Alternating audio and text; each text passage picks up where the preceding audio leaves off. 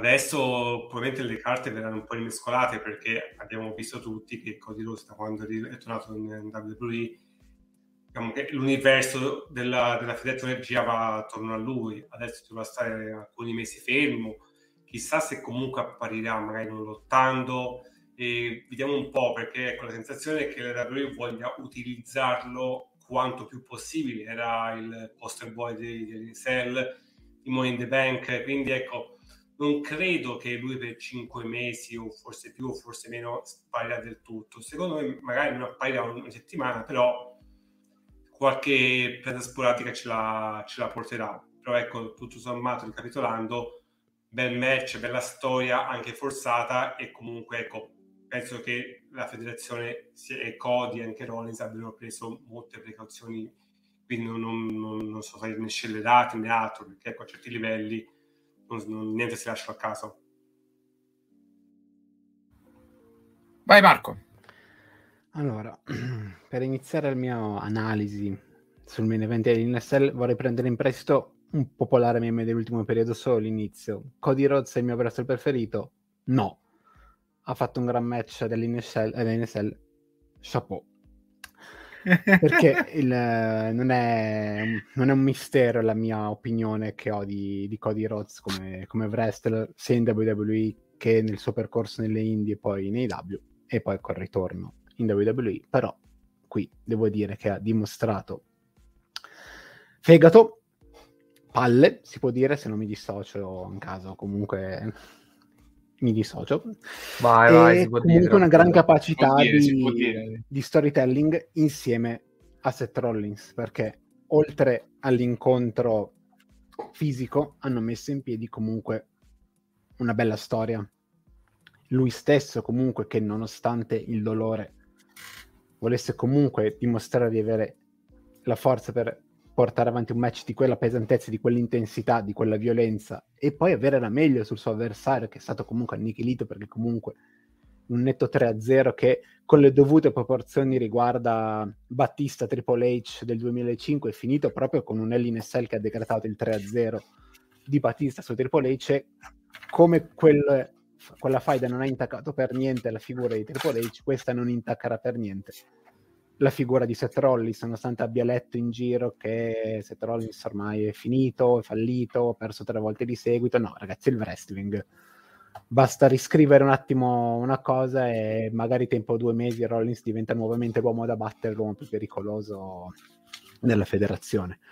E questo anche grazie a Cody. Cioè, si sono fatti brillare a vicenda, nel senso che Cody, pur prevalendo tre volte sull'avversario, non ha, pens- non ha, mai fatto pensare che fosse un gioco da ragazzi sbarazzarsi di Seth Rollins, ma ha sempre venduto cara la pelle per poi portare a casa la vittoria. E allo stesso modo Seth Rollins comunque ha lottato fino all'ultimo per poi comunque cadere sotto, sotto i colpi della superiorità del suo avversario. Per cui hanno portato a casa quello che al momento è il, il match dell'anno uno contro uno, per, mio, per il mio modesto parere e il status di Cody non viene intaccato anche da questa sua assenza. Potrebbe tornare per la Rumble e vincerla, come farsi vedere prima, come diceva Vale. Sicuramente la WWE non vorrà privarsi troppo tempo del suo nuovo uomo immagine, troppo tempo off screen o fuori, comunque, fuori dal ring sicuramente, magari off screen ogni tanto, qualche promo registrato, qualche segmento, qualche apparizione in abiti civili per sfidare qualche avversario, sicuramente la, la farà. Però comunque onore delle armi eh, a Cody che è riuscito comunque a condurre insieme a Rollins un signor match ed è una delle poche cose buone di una LNSL che a livello globale come evento per quanto mi riguarda non ha regalato grandissime emozioni adesso perdonatemi il paragone molto molto estremo che sto per fare è sembrato December to Dismember nel senso con un ottimo opener, un ottimo main event e nel mezzo e mi dispiace per il Judgment Day comunque è stato un buon match ma con un esito scontato il 3, il 3 contro 3 che non ha portato a niente se uno poi non sa quello che è successo il giorno dopo perché chiaramente si, se si commenta l'evento in trio non si dovrebbe commentare per, sapendo del futuro si commenta l'evento per quanto mi riguarda eh, perché la storia finisce di Alinesel, finisce Alinesel. Non posso commentare Alinesel sapendo quello che succede il giorno dopo perché certo. no, non ha senso anche a livello narrativo. Per cui commentando solo a livello narrativo quello che è successo all'Alinesel, ottimo opener, ottimo main event. Nel mezzo un po' di roba per far passare le, le ore dell'evento, con alcuni match che erano degni di una puntata settimanale, magari anche di un main event di puntata settimanale, ma non da, da pay per view. C'è il commento di eh, Luca Svelza che dice: C'è sta convinzione che uno con tre sconfitte è sepolto. Stiamo parlando di una disciplina scriptata dove ci vuole poco per far riprendere un personaggio, soprattutto un Rollins. E soprattutto direi per fortuna non c'è una classifica simile UFC. Guardate, a me viene da pensare che forse tra l'altro con gli abbai del mio, del mio Sting in sottofondo. cioè, secondo me questo, questo match, questo main event è stato forse quello che più di tutti ha rappresentato un po', ci ha riportato un po' come se avessimo Triple H sul ring. Cioè, mi è venuto proprio da pensare a, a una gestione di match, una, anche il fatto di Cody che arriva con l'infortunio, cioè delle volte nel business eh, quella dose di egoismo magari serve per queste circostanze. Triple H ne ha da vendere di egoismo e in alcuni casi è risultato utile non solo per lui, ma anche e soprattutto per il tipo di prodotto Sting, però basta abbaiare, dai. Eh. Eh, quindi che succede? Succede che poi sono due probabilmente dei migliori allievi di Triple H stesso e quindi è, è, venuto fuori quello che, quello che, abbiamo visto in fin dei conti. Poi, logicamente resta di fatto che Cody Rhodes sapete benissimo come la penso su di lui e credo che eh, fin quando possa essere controllato, no?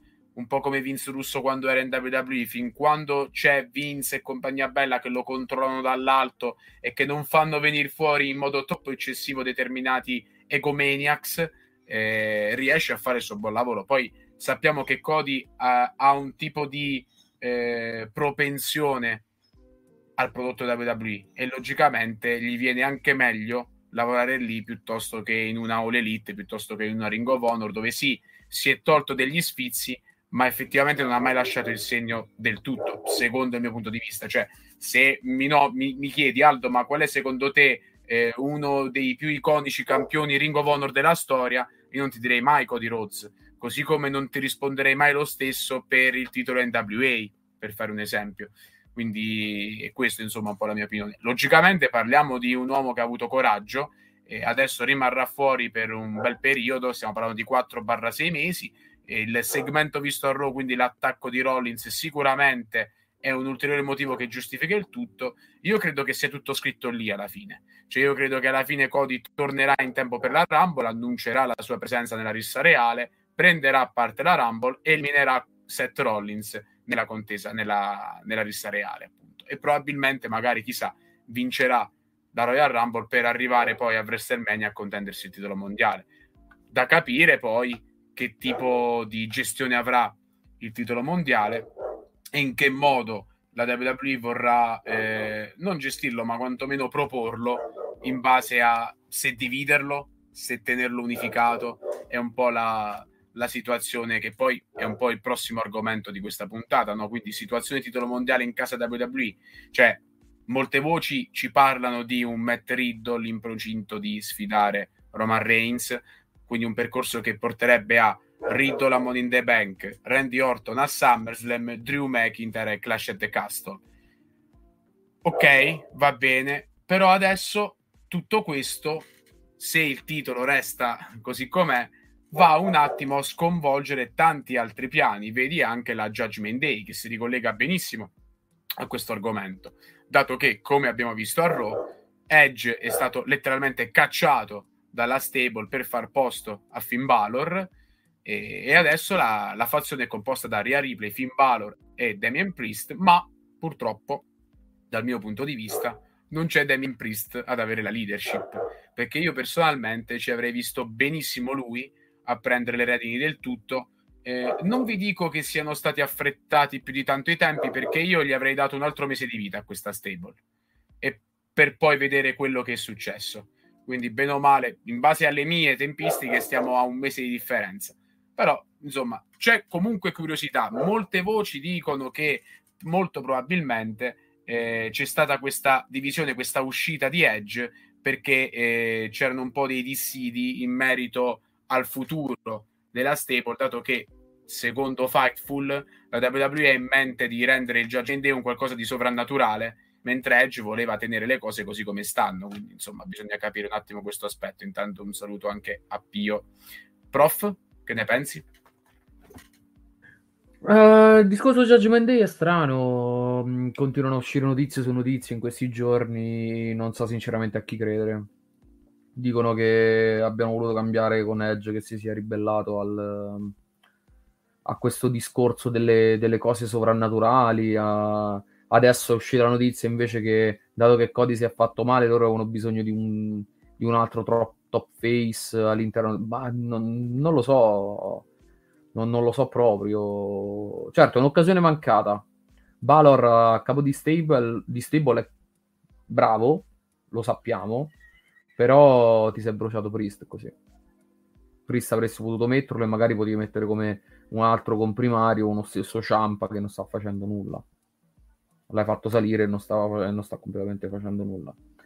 Uh, vediamo, vediamo adesso che cosa, che cosa, succederà, anche perché continueranno questa faida con Styles. Edge andrà da Styles dopo tutto quello che ha fatto fino adesso. Uh, non, non, lo so, purtroppo si trovano in situazioni che uh, con la toppa che stanno mettendo rischiano di rovinare tutto quanto quello di buono, se c'era veramente qualcosa di buono fino adesso, avevano fatto. Quindi, eh, lo so, Giota, che non c'è nessun leader, non l'hanno espressamente detto, però un conto era lo Shield, un conto è una stable in cui c'è um, una comeria replay, che tra però, tutti quanti prof, è quella che è potenziale là in mezzo. Però, prof, posso dirti che eh, probabilmente è l'unica stable dove tu hai la seria possibilità di eh, dare, concedere successo a giovani sì, cioè, okay, ma non ci deve essere avanti con l'età. Non ci deve essere Balor ok là in mezzo. Però serve per il momento, dato che hai tolto adesso Edge dalle scatole, serve comunque un nome interessante, anche se per come è stato gestito Balor finora in WWE, a questo punto sarebbe stato meglio metterci Styles al suo posto. Eh, sarebbe stato me- meglio metterci Styles, è vero. Sarebbe stato me- meglio metterci Styles. Cioè, là, là, in mezzo, per esempio, uno che ci stava benissimo al posto di Balor, lo stesso Kevin Owens, ci stava benissimo. Però sta impegnato a fare, a fare altro, e sprecato totalmente, veramente sprecato. Vero, Prista, eh... 39 anni, cavolo, vero, vero. Sì, sì, sì, sì, sì, dimenticavo questo, dimenticavo questo particolare. Pristi là in mezzo l'unica giovane è Ria Ripley. Che Mi sa che è Ria Ripley. allora ho detto una strozzata. A 25 se non sbaglio non ci arriva. Porca miseria. No. L'ho detto, l'unico col potenziale là in mezzo è Ria Ripley. Ed è... Pure Ciampa, siamo lì con l'età. Quindi, quindi parliamo, parla, parliamo di supposizioni che però sono fine a se stesse. Vediamo Balor che intenzione fa. Il problema è un altro. Uh, uno deve, quando crea una stable del genere deve sempre chiedersi, ok, qual è il loro obiettivo finale? Il loro obiettivo è mandare qualcuno per il titolo? Quindi in qualche modo spingeranno Balor per il titolo? Massimo? O ci spingeranno Priest? Il, eh, vedi, il, il, discorso, il discorso è un altro, prof. Il discorso è che se tu hai il titolo unificato, per far arrivare ipoteticamente un Balor a vincere il titolo, cioè tu hai due strade. La prima, dargli il, quella più semplice, diciamo, la scappatoia, dargli il Money in the Bank farlo incassare e fargli vincere il titolo in quel modo lì. La seconda, costruirlo in modo tale da arrivare a uno status così enorme da fargli vincere il titolo, solo che poi hai bisogno di tempo in quel caso. Quindi a questo punto la domanda è, non sarebbe meglio considerare ancora i titoli divisi e quindi magari un ipotetico Mr. Money in the Bank va ad incassare su una delle due cinture, non su entrambe sì. le cinture? Cioè, Assolutamente cioè, sì, e soprattutto, secondo me, fanno una cazzata enorme se non danno il titolo a Ria Replay a Money mm, in the Bank. Già, ah, al, ma- al, massimo entro SummerSlam. Mettiamola ma così. al massimo, ma proprio il massimo entro SummerSlam. E se tu vuoi rifare veramente il rematch tra Bianca